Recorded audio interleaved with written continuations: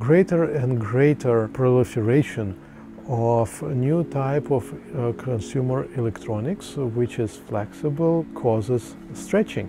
And maintaining a high conductivity combined with the ability to stretch is of great importance for such devices. We develop a new stretchable conductor which is utilizing small nanometer scale particles which are very easy to incorporate. We found that uh, stretchable conductor from nanoparticles can be um, can show excellent properties in terms of conductivity and stretchability. In that way, we, we could have high conductivity up to five times of stretching of the original composite.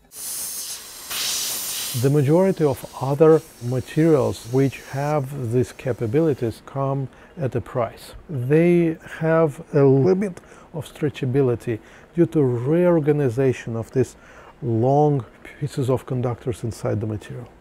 When we stretch the material, instead of expanding the gaps between them, they actually self-organize in the chains. And that's the trick of having high stretchability and high conductivity. The particles are not behaving in a random way and that results in uh, high mobility of the charges and high conductivity.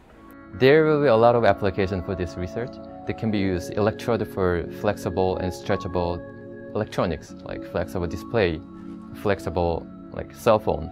It's indicative of just a start of new family of the materials which can be made uh, from a large variety of very different nanoparticles for a large variety of applications.